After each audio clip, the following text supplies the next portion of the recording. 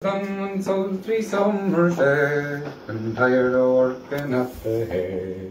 I to watch a regiment marching by to foreign war. And I don't know how it came about, I must have slept without a doubt. I dreamt I took the shelling that day in Mullingar. Oh, a sergeant, a gramophone, will you swap back again with me? For my old coat and overcoat, they were warmer by far. And besides, my heart will surely break if friends and neighbours I forsake. And wear the Highland petticoat going into Mullingar. But the sergeant, he spoke sharp to me, you might as well content to be. You've gone and took the shilling down at Mary Ann Egan's bar. And as for those you leave behind, you might as well make up your mind.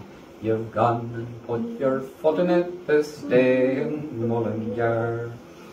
Oh, 'tis that I wept with grief and pain, but all my protests were in vain. We marched through Munster Evan with the General in the car. And when we came to Wexford town, straight to the platform we went down. And sailed away for India, farewell to Mullingar. Oh, the heat was heavy overhead, we fought till nearly all were dead. From Lake to Khyber till we came to Kandahar. And those Indians are a savage lot, they gave it to us hard and hot. I lost two legs by cannonball, and I sighed for Mullingar. As on the bloody ground I lay, in deep despair I could not pray. I cursed the sod I lay upon, and my joy in life did mar. Until someone near me gave a shout, I woke right up and looked about. Thank God I was only dreaming, I was back in Mullingar.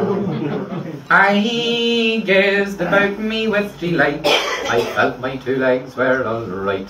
I kissed the sod I lay upon, and I thanked my lucky stars.